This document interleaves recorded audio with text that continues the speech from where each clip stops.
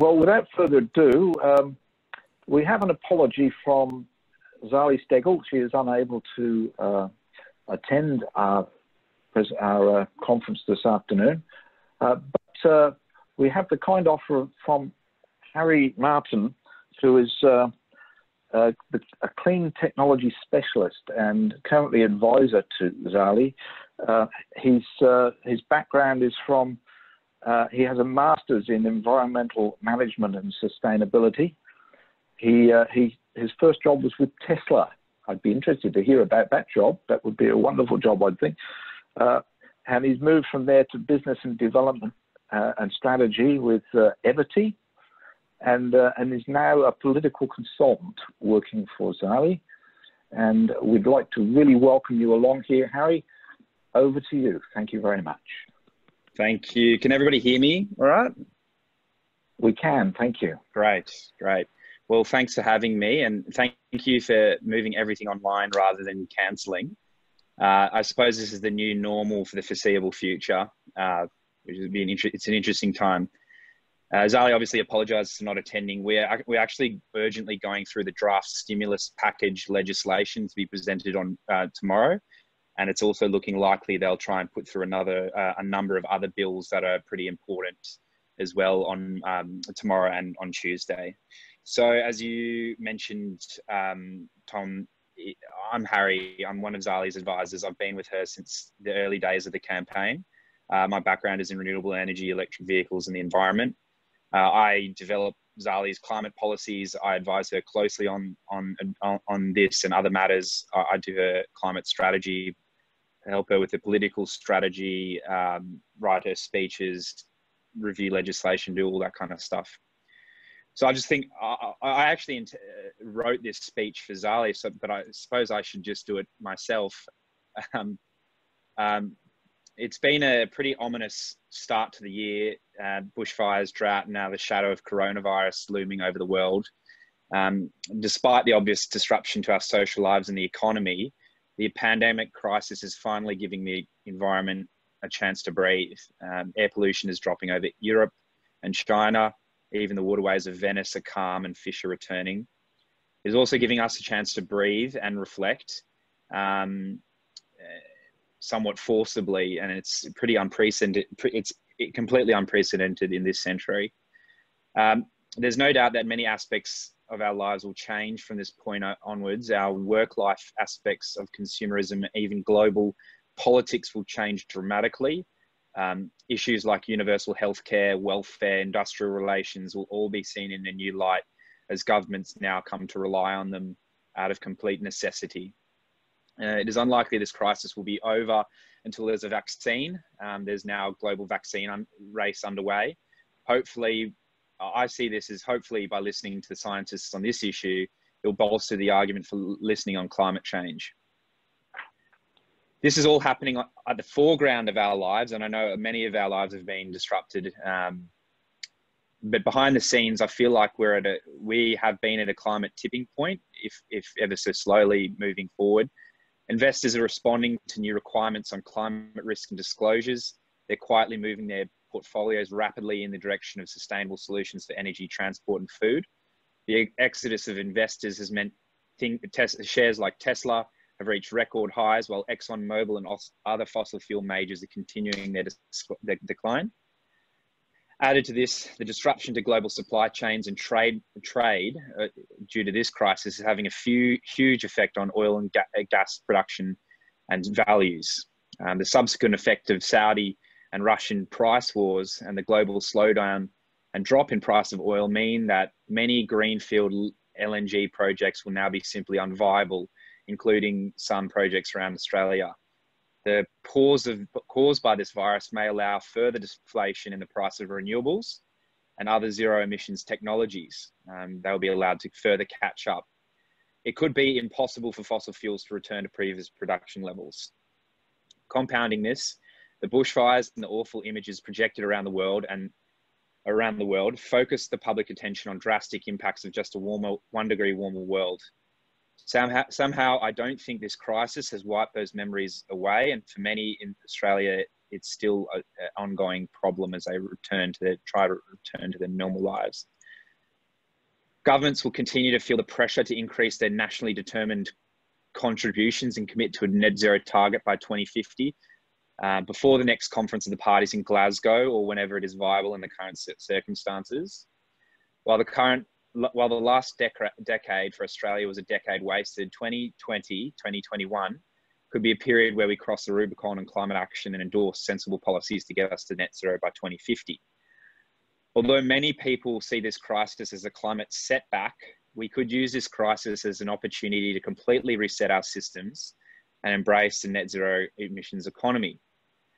Although we have put the bill on pause um, that we intend to present uh, until a, more suitable time, our climate change national framework for adaptation and mitigation bill 2020, which I've been developing, um, could break the deadlock on climate inaction and propose a bipartisan way forward for this country that takes advantage of this reset. This bill is not revolutionary in that it is modelled on the United Kingdom's Climate Change Act, which has been enforced for over 10 years, as well as New Zealand's Climate Change Response Zero Carbon Amendment Bill, which came into force late last year. Since the UK enacted their bill, they've managed to put climate politics behind them. They now have general consensus, have grown their economy, embraced solutions to the challenge like offshore, um, offshore wind and electrified transport, and have taken a leadership role on climate on the world stage. Symbolic of how far they've come, it was amazing to watch um, both parties in the recent UK election compete not just on the costs of action, um, but they actually um, were instead competing on ambition. Indeed, the Conservatives, and we met with the UK High Commission um, several times to discuss our bill, um, they intend to use decisive climate action to reassert their bona fides on the world stage post Brexit um, to re- restore their credibility we thought we could emulate, emulate that in Australia. Um, similarly, in 2005, a private member also tabled the first iteration of their Climate Change Act three years before it became law. So I'll go through the bill components really quickly. To be effective, um, we think Australia needs an independent arbiter to guide policy and provide cru cru crucial accountability. The Act will establish a Climate Change Commission to advise the government on policy setting and reporting based on the advice of experts, including business economics, agriculture, regional development, um, climate policy, climate science. Um, this kind of body's been extremely successful in the UK, and I just had a call last week with somebody who worked on the UK Climate Com Commission, and it continues to be a credible, listen to um, body um, that's really helping them with their transition. Unfortunately, we have a body like this in Australia Climate Change Authority, but its funding was gutted and is no longer listened to by the government. Um, it's board, so we need to start fresh. Um, the CCC, or the Climate Change Commission, the Commission, will have stronger powers than the Climate Change Authority. Firstly, by mandating that the government consider the advice and recommendations of the Commission whenever it sets climate policy and does so visibly. Um, if the government rejects the advice of the Commission, it will have to provide a statement of reasons rejecting clearly outlining why. And secondly, it empowers the Commission to report and review on government policy without referral by the Minister, which is actually a problem with the current authority. It requires referral by the Minister or the direction from the Minister. The net zero target, um, in line with the Paris Agreement and Intergovernmental Panel on Climate Change, is best available science. This act will establish a net zero target by 2050 in statute. By having the goal in statute, business and investors can be confident that the government is heading in the right direction moving in line with the states, territories, our international peers, and can plan decisions accordingly and manage financial risk. This is not new. It's something that states, territories, and other countries have enacted in either statute or policy. Investors and businesses are also increasingly considered climate aligned targets for their portfolios, including net zero by 2050. Importantly, the target, target has the ability to be ramped up if there's significant change in the science and global action and technology. Then the bill establishes five-year emissions budgets. The um, to get to net zero, um, it will require the government to set these emissions budgets based on the advice of the Commission, which considers various factors like technology readiness and the best available science. Um, to meet these budgets, the government will then provide five yearly emissions reduction plans. one year in, in advance and to allow for added security uh, scrutiny. These plans will be multi-sectoral, dealing with energy, agriculture, waste, transport, um, industry, um, uh, anything um, that is significantly emissions intensive. Um, the bill then require, um, so unfortunately, as evidenced by the fires, Australia is uniquely susceptible to impacts. So it's important that uh, the community and the private sector understand the full extent of those risks. So the, the Act will provide regular risk assessments um, conducted by the Commission, um, which will identify risks across Australia's society, economy, and environment, and to which the Commonwealth will have to respond. Uh, the risk assessments will be underpinned by the advice of experts. The government will be required to develop adaptation plans, which will set up the government's priorities in addressing those risks. These assessments and plans will guide businesses, um, community, and uh, investors' decision making. Um, so it's really important that we also have transparent monitoring and, and reporting. We saw this as a key gap in the current approach. Nobody's sure when reports come out what they mean. They're housed everywhere. Um, so we think um, to assist this, um, the government and the commission will have to work together on adaptation plans, long-term targets, interim budgets, mitigation plans in a transparent, accountable way um, the commission will then actually have to report on all those measures and how they're being implemented regularly, and it'll be housed on a central website. So, how do we get this done? Um, we've actually put the campaign in on pause um, due to current circumstances. We were intending to introduce the bill on tomorrow, but uh, the tomorrow's um, proceedings will be primarily to deal with the stimulus packages. So, um, until last until this week, we're actually calling on the bill to be a free vote. We held a number of um, productive meetings with Labor, um, the crossbench, um, some interesting characters, you know, Pauline Hanson, Barnaby Joyce, uh, Bob Katter, very interesting, fruitful discussions. Um, so we're calling on all those members to to to elect their um, to represent their electorates um, and vote not necessarily with their parties, but according um, to their values and the values of their electorates. Because we actually see this as a matter of safety for many Australians and sh- it should now be elevated above party politics. Um, we also built a website, which I'm sure you've probably a lot of you have seen right um, by now. It's climateactnow.com.au. Uh, the website's still going. You can't send a message to your MP at the moment because we don't want to flood the inboxes while we're going through this important time. But it basically acts as a de facto plebiscite. I think 77,000 Australians have already signed up. Um, and that was going up by about 3,000, 4,000 a day until the coronavirus crisis hit and everybody kind of um, went into their bunkers. Um, so we're now trying to figure out uh, an online only only digital strategy to go um, to when these when this kind of this situation settles down and, and the sh- initial economic shock subsides you know most people will be at home and and be um, you know I think quite amenable to discussions about the future. You know, the, it's a really good time for us to kind of reset and rebuild and gain support, um, even if it's online.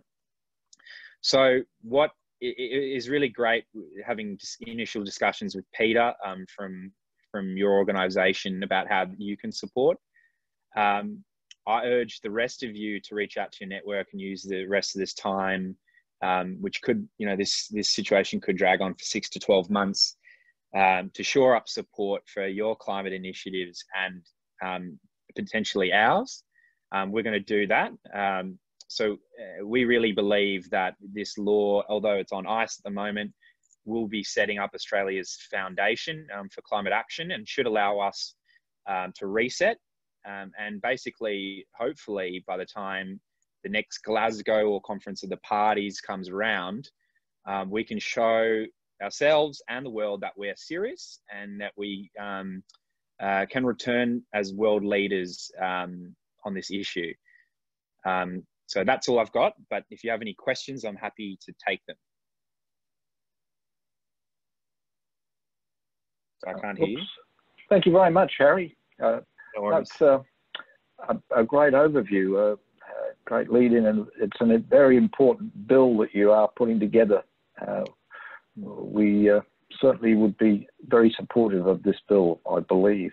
Now, there may be some questions out there. Uh, how are we going with questions? Uh, we, we're collecting those online in the background. Uh, um, Catherine, do you have yes. something there? Could please? I unmute you, Arif, and let you put your question because you'll do that for a few people? Yeah, I'm happy to answer some questions. Yep, go ahead. Fantastic. Arif, your question. Oh, yeah, sure. Um, so I'm at UNSW, and there's a lot of student groups, young people here, and I even know younger people from the schools climate. And their main issue with Zali's bill is that the 2050 target is a bit too late, and it makes yeah. it a week. So we want to know your perspective on why is it 2050? Like 2050, I know for a large portion of Australian population, it's just you, you don't have a feel for it. It's like so far away. It's like 30 years from now. Mm. So, yeah, that's uh, one of my main questions. Yeah, and it's certainly you know the feedback that we've heard um, from many stakeholders who want to see faster action. Um, first of all, the IPCC literature at the moment endorses a global net zero by 2050, and certain economies will move faster um, than others. Um, but this is an it's an important starting point. Um, it's endorsed by the states, the territories, investors, businesses. Um, every every state and territory in Australia now has a net zero target by 2050. Um, so it's really important to see that we're moving in concert with others. Um, that's not to say that we actually internally don't support a stronger target, but you've got to start somewhere. And with the way things are moving, it's likely that um, you know action will you know increase exponentially. Um, but you know in Australia, we still have MPs arguing for a 2078. You know, coalition MPs starting uh, arguing for a 2070 target. So we just got to get it in place the bill has important provisions to allow for a ratcheting up. Um, it's got clauses in there to say um, if there's significant change in global action or climate policy or science, there's really broad range of factors. Um, the minister um, can actually vary the target um, through regulation. So, but he actually he can't reduce it. So we, we recognize we don't want to actually reduce our ambitions. We want to we want to increase. We want to you know have an acceleration over time. So if we just put it in, if we just get it locked down, 2050, it, no doubt uh, over the next decade, um, uh, it will accelerate. So um, that's the, and so in order to build, build this broad coalition, we needed to keep it, you know, down the center, 2050, in line with states, in line with the IPCC, and then we can go from there.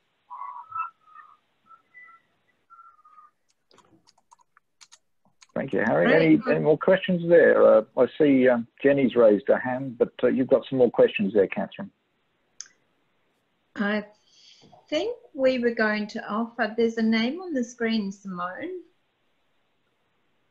Who's that? Howard, do you want to do Simone's question for us?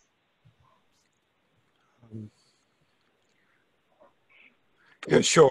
Um, Simone, are you there? Um, I did see a message come through after the pandemic. Won't governments be inclined to just uh, start up fossil fuel because it's the most expedient? Um, is that a fair? Uh, is that a fair summary of your question? Okay, I can't see him now. Anyway, that was the question. Well, thanks, thanks, um, Simone. Uh, that was, you know, I have I had my own concerns about that, um, and I I've been talking to some people, and I I, I think this is the the view I, I'm I have at the moment is an optimistic view is that during this time. Um, there's obviously going to be, and I referred to it earlier in my speech. There's been a slowdown in um, trade, and therefore uh, uh, trade. There's been a slowdown in people's general activity. Most people are staying at home. Um, they're not driving. Um, people aren't catching public transport. Flights uh, are stopping. And I think that's been a really good pause for global emissions. And I think actually many companies um, who were marginal fossil fuel players and who'd taken on a lot of debt will really, really struggle to, to come back from this because this could last for you know, the economic ramifications of this could be up to two years.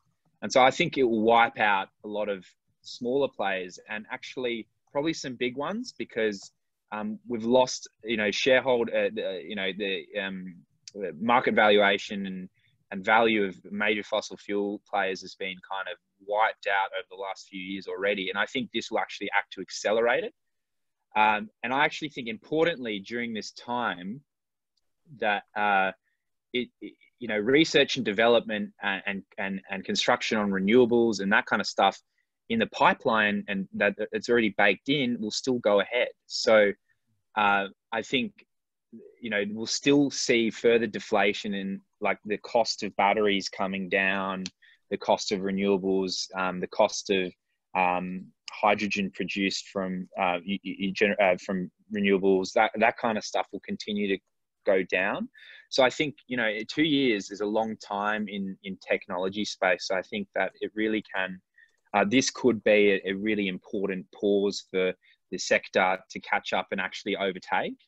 Um, and, and, you know, by 2022, 2023, um, you know, you've got new model EVs that Volkswagen are pushing out. They'll start arriving in Australia. They'll be price comparable to petrol vehicles. I think the government, this government in particular, will find it really, really hard unless China decides to do a huge um, infrastructure investment stimulus package to in, and using Australians Australia's coal, I think it will be really really hard for the government to push that push fossil fuels even harder because the alternative is getting stronger. So I think that where there is a risk to go hard on the status quo, um, we've actually also seen the government drop its position on a number of things, a number of really interesting things. So, like their position on social welfare, they boosted Newstart, um, doubled it for um, for job se- called it job seekers. So their their their position on welfare is changing. Their position on um, on, on, on, yeah social security is changing.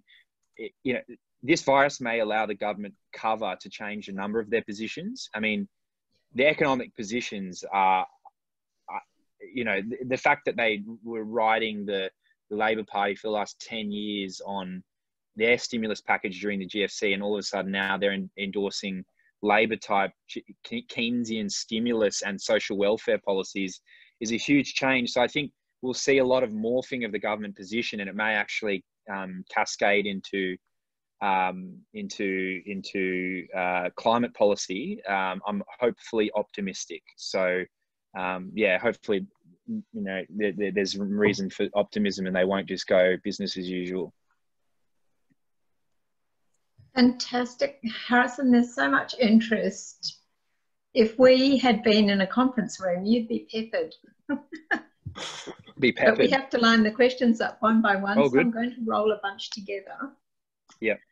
Um, Zali's bill, as everybody talks about it as, Zali's bill is self-explanatory.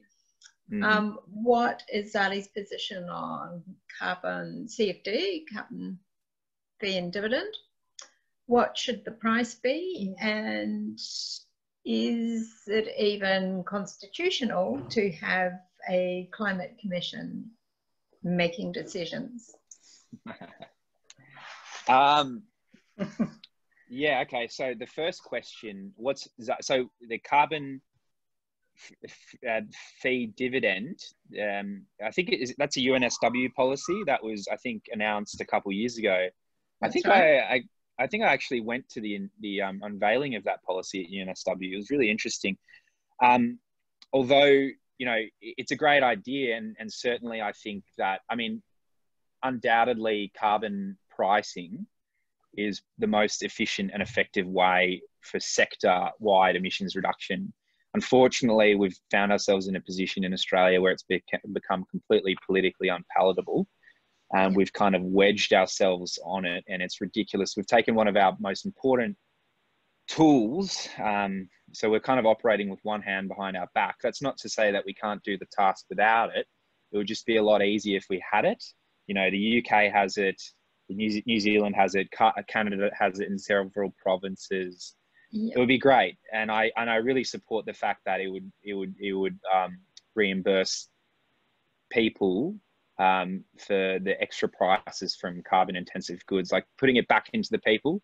And I think that was a real flaw in the design of the last carbon tax because it, it didn't go back to the people, which would have made it politically a lot safer. Because if the government went to remove it, that people would be rightly irritated and they'd lose votes. So, in a political way, it's sensibly designed to safeguard from future repealing. Whether we we're not currently publicly supporting that kind of um, mechan- mechanism at the moment for obvious reasons. We come from the seat where the guy, you know, the chief architect of repealing it is the former member. So we're not going to be championing it. We hope that by in- implementing a climate change commission that that reviews and suggests policy, that it will continue to barrack for currently politically unpalatable options like a carbon pricing mechanism. Um, because it's better, it comes from an independent voice like the RBA. The RBA says, hey, we need to do more fiscal reforms, and people go, okay, we'll, we'll listen.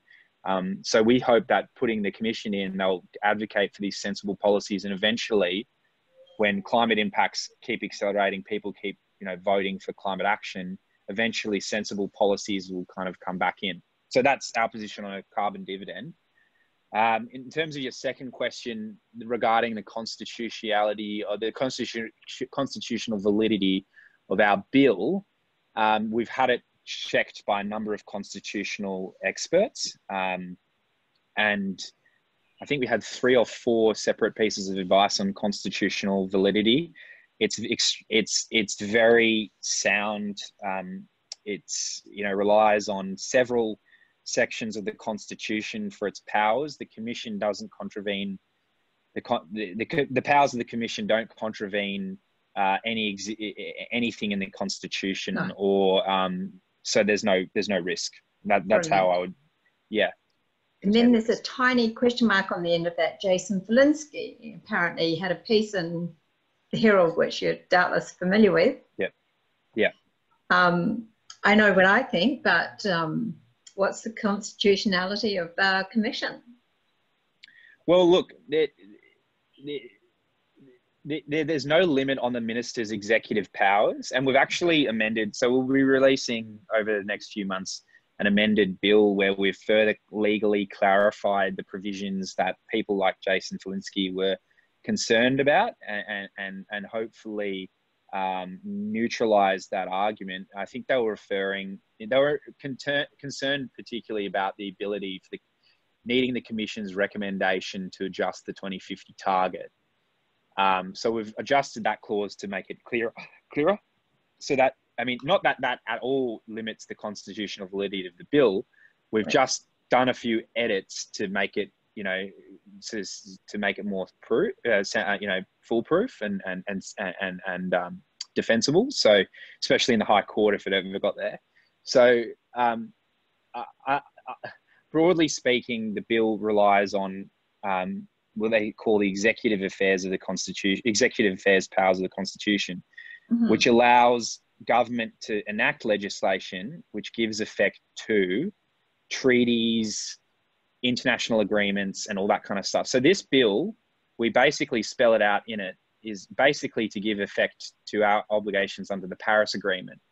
So there's no reason, if you're following, and hopefully I'm not being, being too technical, there's no reason, like it has enough power built into it because it's meeting the obligations of the Paris Agreement to basically withhold any attack on constitutional grounds.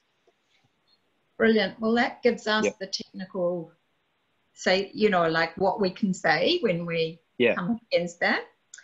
And sure. another question about uh, what is the process you expect for the bill when you do get a chance to bring it in? Uh, so the political pathway is, um, well, our original political pathway was introduce it tomorrow. Um, we were looking at referring it to a committee, um, referring or establishing a, special, a, a, select committee to look into the bill. Um, that would give the public um, an ability to write, you know, present, uh, go to public hearings, write submissions. Um, it would give everybody added scrutiny, and we could have a debate. Uh, and so we really wanted to push initially for a debate. Um, we recognise it's not. We're not going to vote on it straight away. It, you know, as as the shadow um, climate change minister Mark Butler says said to me, this is a pretty significant reform, so it needs to be duly considered. Um, so we would push it for a committee, um, and we see the process now. It was going to go till October. I don't really know what's going to happen with this virus. It looks like Parliament won't be in, in session. Uh, will be in emergency sessions only to pass certain legislation. So I don't imagine the next six months will be viable. So it kind of pushes out our time frame. But our initial thoughts were push it to a committee, um, have a debate within the parameters of the committee, have public hearings, allow coalition members to ask questions of stakeholders about certain clauses they had concerns with. Um, and that way would give it life. Um, and then, you know, after a certain period, amend the bill if it needs to be amended, and then say, um, basically, where do you guys all stand on this? Uh, especially the coalition. You know, do you support this bill and further climate action? Would we would we would probably move to suspend standing orders in the House and force it to a vote um, after the committee process. That's what it would look like. Um, but it's actually already been selected. So what they call is like it gets selected. So it's already on the agenda in Parliament. Um, there's no risk of not being able to introduce it. It's just waiting. It's just sitting there waiting to be to be to, for the go ahead. Fabulous. Actually, that little bit of time might give us a chance for more discussion behind the scenes and more time for us to get in there and support it, eh? Absolutely. Um, Howard, give me a second opinion. How much time have we got, Tom? We've got time. Well, that's um, entirely up to uh, Harry. We uh, we just on two thirty three. We've got another well, another seventeen minutes if we want to use it. Um, oh, there are people asking. But, uh, but unfortunately, I can't see who the people are who are putting their hands up. So I know the interest is out there. Um, there was uh, there was a question. I don't know whether it's totally uh, uh, supportive or whether it's an appropriate question, but uh, uh, I've forgotten her name. Who had her hand up earlier? Um, wanted to ask about uh, CCS as a solution.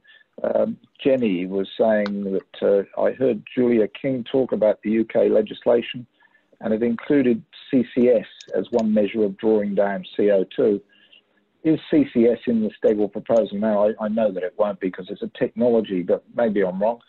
What would you say to that, Harry? Well, look, with this legislation, we're not precluding any, it's technology neutral. Um, so it's whatever the market kind of decides is viable, really. Um, so we don't have any, I mean, we have views on specific technologies, but we need to be technology agnostic because we recognize that people have their own views. You know, the coalitions certainly love um, their carbon capture and storage and all that kind of stuff, whereas other people prefer renewables, and that's fine. So we really wanted to have a neutral approach um, and let the market kind of decide what's viable.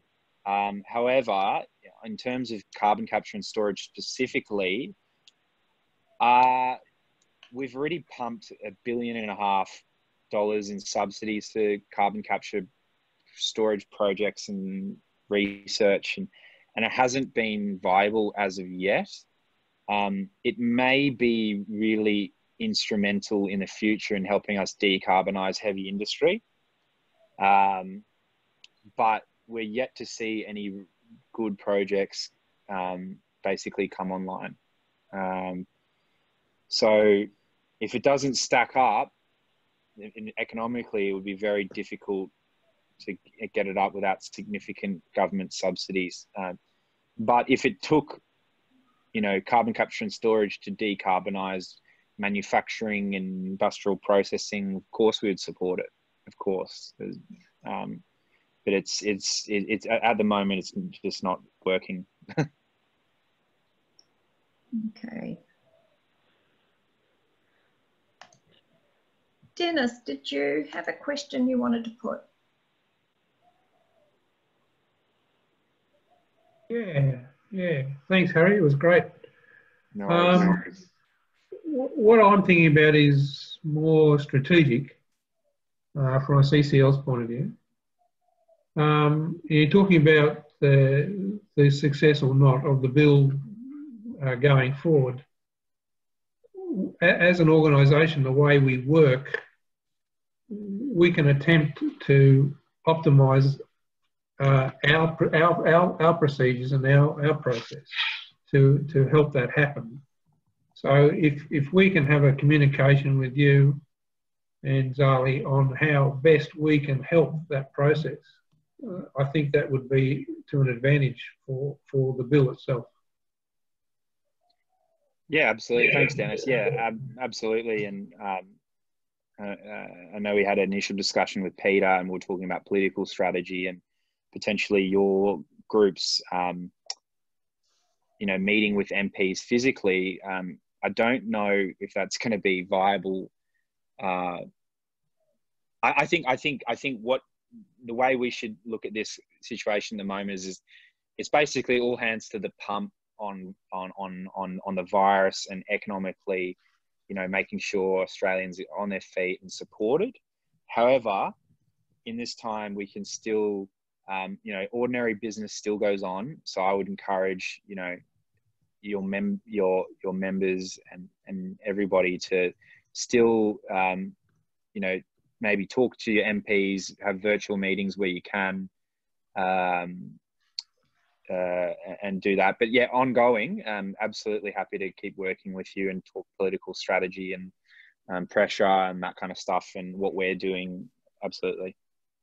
Okay, so if let's let's assume that the bill does not go forward, then this becomes even more important for the bill to go to be eventually successful. So, I guess what I'm saying from my own point of view, I commit myself to to move that forward, and I'm sure there's a lot of other folk who are on here now will also do the same. So, mm.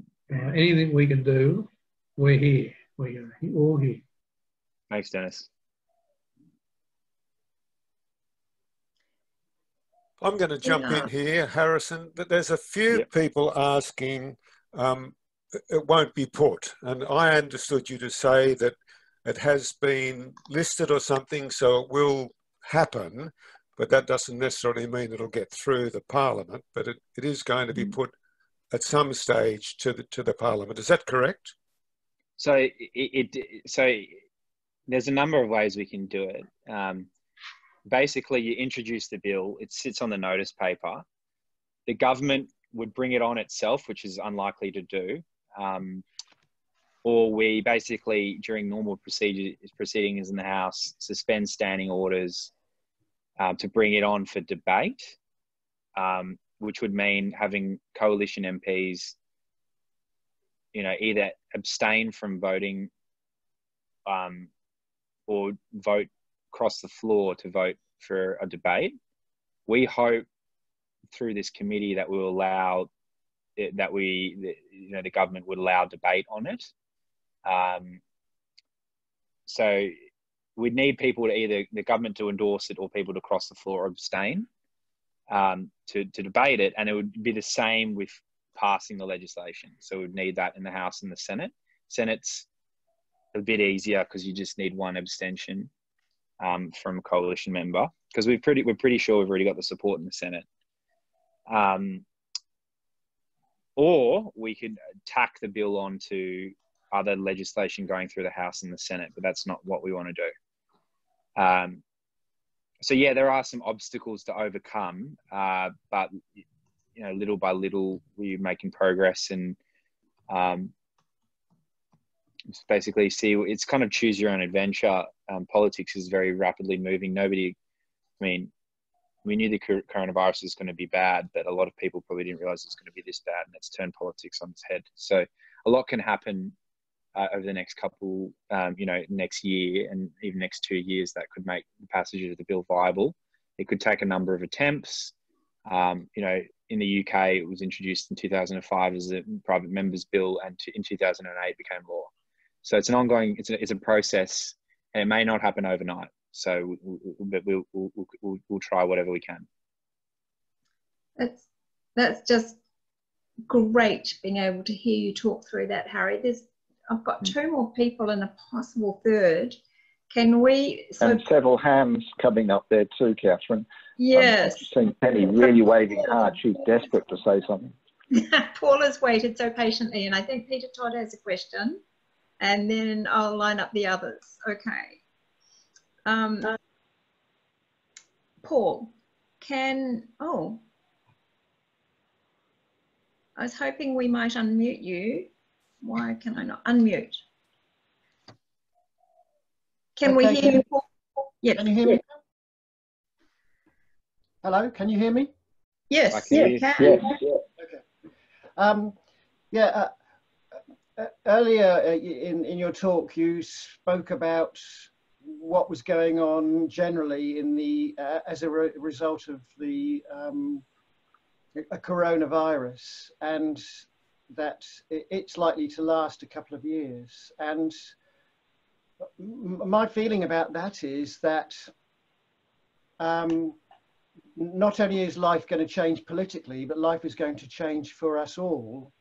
And um, that the, the, the, focus then of things like economic stimulus um, will probably need to have a very different focus than it is getting at the moment. So, for example, um, as you've said, everybody is sort of battening down the hatches. So uh, our, our, focus is not on, in my opinion, you know, buying a new car, investing in new new property, getting new white goods, and so on and so forth. We're we're more likely as a total community to move our expenditure to things like health, food, utilities, the basics of life. And as a consequence of that, not only will our attitude and our lifestyle change, but it means that the demands on our economy will change in that we won't be demanding the services of car yards um, and so on and so forth. So there are certain aspects of employment which not only will suffer during this period, but will actually, the need for them will be greatly reduced. And I think that's going to happen in the first six months uh, of the direct impact of this virus, but it will have a knock-on impact then on the economy over the following uh, 18 months. So we, we then have a, a very different situation about what our lifestyle will be. And I feel that then in this two year period, there's actually an opportunity because of people's mindsets focusing much more on, on basics and family. And it will be more family orientated because we're all living as families now rather than our wider communities, our social groups, that um, it's an opportunity for us to then focus more on things like getting solar panels on our roofs, because that will reduce our expenditure long term. And we'll discover through this process that reducing your operational expenditure is actually a bloody good thing to do. Paul, I'm going to um, take that as a comment. you've, um, I think you've expressed a lot of what other people are thinking. Um, Peter, your question. question. Oh, oh uh, you're muted, Peter. Just, I'll also say, Paul, I agree with you. So. Yeah, I was just going to give you the information, Harry, that uh, we did have 20 face to face meetings with MPs uh, for early this week. And right. uh, with what's happening, we've been able to convert at least eight, eight of those to phone conferences. So we're still right. trying to, to communicate uh, with MPs. And obviously, uh, the climate change bill will be a part of that. Uh, those discussions that will still be going ahead. Fantastic. That's great. That's great. Thanks, Peter. And he's waving her hand there again. And I know Arif and She's saying Brian goodbye. are keen. to somebody else. Oh, okay. okay, I think we're just about there. Over to you, Tom. Well, uh, we've got a couple more. I know Penny is keen to talk. I know Aref is certainly keen, been very persistent there. And Brian, I don't know whether he's frozen in that position, but he's had his hand up for a long time. So very quick questions from you guys, if you would. We'll have all three questions and then back to Harry. Firstly, oh. you, Penny. Hi, um, we're in Hume electorate. We're curious, um, Harry, the numbers that have signed Zali's bill, do you have a breakdown of where those votes are coming, or sorry, well, those signings are coming from? You know, are there so many in different electorates? Do you have any indication like that?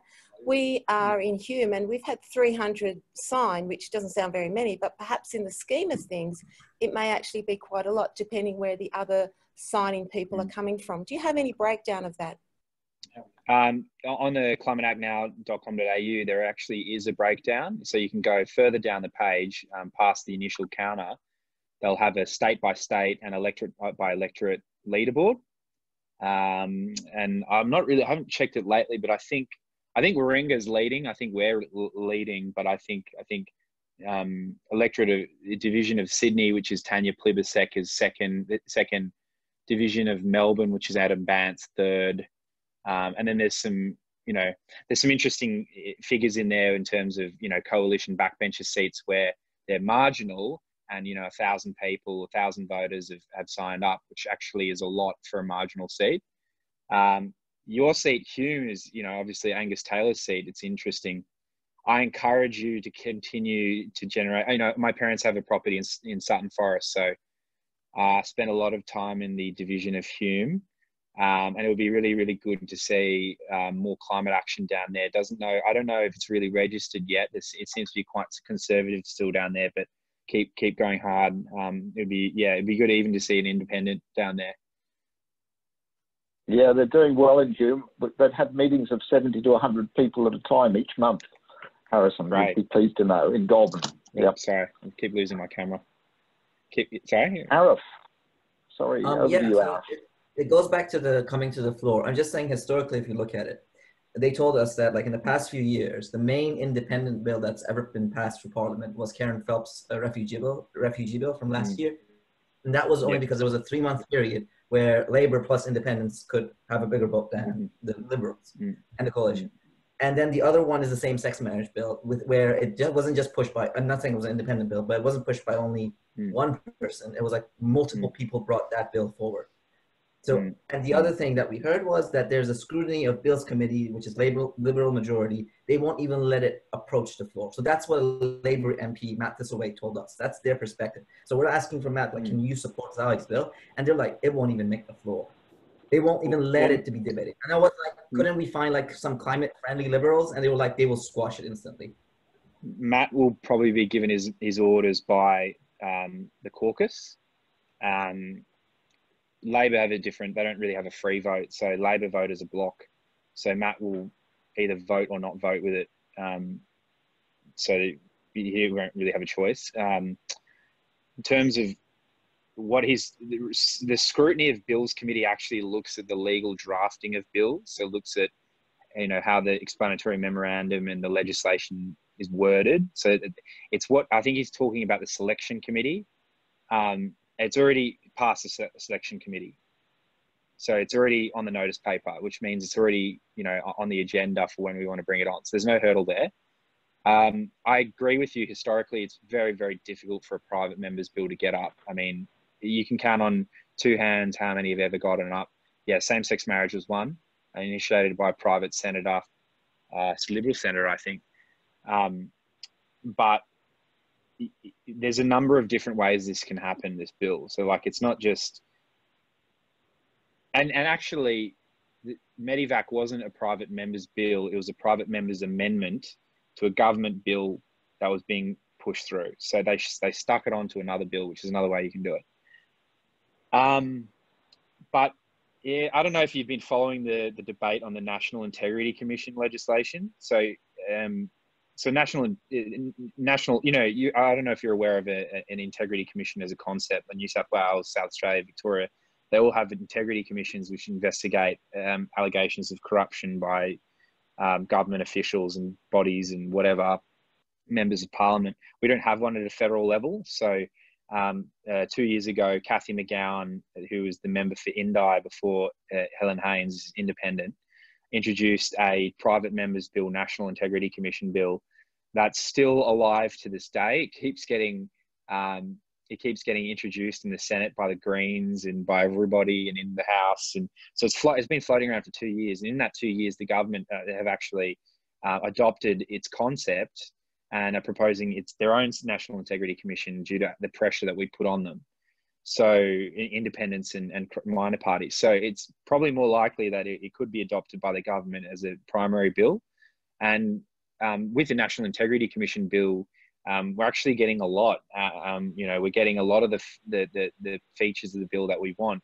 Um, so, you know, as I said before, there's a number of number of choose your own adventures in this in this world where the government could adopt it. We could get people to cross the floor. We could tack it on to another bill. It's really fluid, and we've just got to respond to the situation as it arises. But nothing in politics is like a game of four-dimensional chess. I've found so anything can happen. Okay, we're actually running a little over time there now, uh, but uh, there's a couple. There's one very important question, and Brian's had his hand up for a long time. Uh, Brian, is yours a very quick one, please? I'll unmute you. There you go. Hello. Uh, first of all, Hello, thank you very much for all the excellent work you've done to prepare this bill and your being here today. And I feel uh, compelled to ask on behalf of a few other people what your view is on the Parliamentary Friends of uh, Climate Solutions.